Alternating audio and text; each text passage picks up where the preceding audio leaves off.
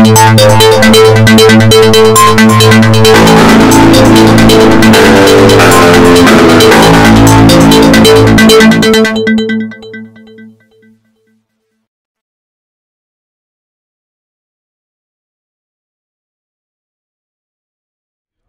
everybody, I'm talking to you about lot 251 which I bought yesterday at the uh, Inglis Premier Sale here in Melbourne.